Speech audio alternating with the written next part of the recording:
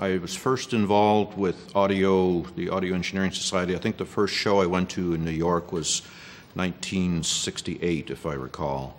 Uh, drove down from Montreal that I lived in at the time. Um, a few years after that, um, in 69, I started a company called Olive Electrodynamics. Um, and we were, our objective was to make a state of the art recording console. Um, recording consoles were evolving into modular designs, into um, more sophisticated designs than the more traditional, what I'd call a monolithic console previous to that, with just a, a few rotary faders and evolving into the, the linear faders uh, with built-in EQ, sometimes built-in compressors and so forth. Um, a lot more sophistication requiring a lot more signal processing and a, and a, and a lot more channels, which was driving uh, some miniaturization. Um, so that was my initial involvement then in planning the Olive console in 1969, which we then designed over the next two to three years before we began uh, putting them into commercial production in 1972. There was some talk of console automation um, in the in around 1970, 71. There was just some discussion about it. Uh, nobody really knew how to do it. They just knew that they wanted to, for the purposes of doing mixdowns, to be able to recreate um, a mixdown in a memory fashion and then do updates on just some of the channels um, as they would repeat the, the already memorized mix. Um, so there, there was a, a, a, request from the industry to do some kind of automation. We didn't really know what it meant and how much could we automate. And at that point, the idea of, of automating an, an EQ was, was just so outlandish that we, we couldn't. So just automating the levels was, a, was an objective. That drove us to look at um, some programmable gain, specifically VCAs, voltage controlled amplifiers, that we would put in each channel, which allowed us to set the gain of the channel based on a DC voltage. So once it's set by a DC voltage, then you have the potential for automating it um, with regular control technology. So it wasn't a, an initial design goal, it became that um, as the console was nearing the end of its development. And fortunately, we had decided to put VCAs in for other reasons in addition to possible future automation. So the, the first consoles were not automated, um, but in 1973 we introduced automation to those consoles. It was pretty crude. Um, I mean, it, it, was marvelous that we could actually record a, a mix down, but looking back, compared to uh, today's technology, it was pretty crude.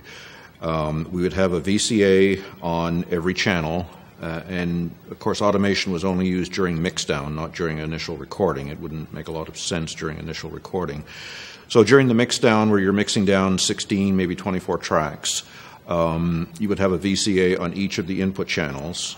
Um, and we had the capability of doing 16 channels with our initial VCA system. So it was basically recording the state of um, 16 DC voltages. So it was a, a, simple sample and hold A to D, D to A process that, that generated um, an audio control track or, or a, a, control signal that looked like an audio track that you could then record on one track of your 16 track tape. Uh, so you give up a, an, an a music track. So you now you've got 15 tracks, and then well, if you want to be able to correct it, you give up another track so you can bounce back and forth. So you ended up with a 14-track um, audio tape, uh, and tracks 15 and 16 were used with the control tracks to be able to bounce back and forth. So it would simply record the varying DC voltages representative of the fader settings during the mixdown, and allow you to um, punch in if you wanted to, let's say, track seven, you didn't change the gain at the appropriate place or something, then while you're doing your second mix down and bouncing from track 15 to 16, you could punch in on track 7 at the appropriate point and make the fader take over from where it was. And there was little uh, indicators to let you match the fader you had to do manually to what was recorded and then make the change and then punch out again if, if you wish. So it was pretty crude by today's standards, but the idea uh, producers were, were amazed that you could actually do this, and it would it would recall the mixdown. It's it's it's funny how uh, uh, impressed we are with early technology when we first see it, and then look back 10 years later, and how did we ever get impressed by that simple accomplishment? What I heard from producers who experienced our first commercial demo, uh, and the first commercial demo that I recall was actually at an AES show here in Toronto at Thunder Sound and I think that was around 1972. I don't remember the exact date. Uh, Phil Sheridan was the engineer.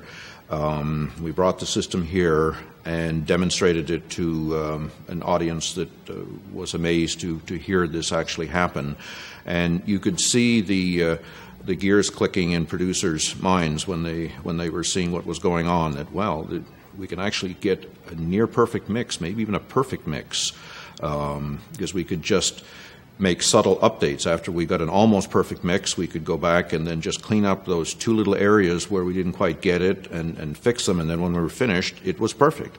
Um, so that's how the technology was, was influencing them, uh, that they were seeing that this was going to give us um, pretty good mixes and, and avoid some of the problems that we had that every time we redid the mix to fix error number three, we would create error number four and, and so on. Um, then the flip side of that, um, give them an inch, they'll want a yard. Um, said, well, that, that's great. The, being able to set the gain, uh, being able to automate the faders, and, and we're not talking about motor-driven faders or flying faders as they were later talked about uh, when that came several years later. So how about um, automating everything else, like the EQ and so forth? So they said, you need to work on the rest of it. We really want everything on the console automated.